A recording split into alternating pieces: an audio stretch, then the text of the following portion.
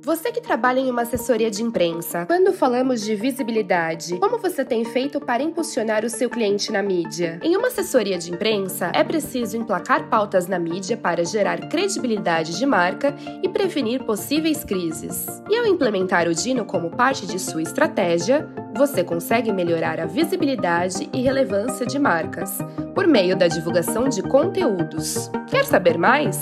Clique no link e solicite uma demonstração.